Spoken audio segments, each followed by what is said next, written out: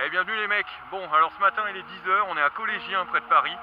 Du coup ce matin j'étais en train de rechercher un bol dans une cité près de Ville. Et je me suis rendu compte que le bol n'existait plus et qu'en plus j'étais dans une cité où j'allais forcément ressortir en slip.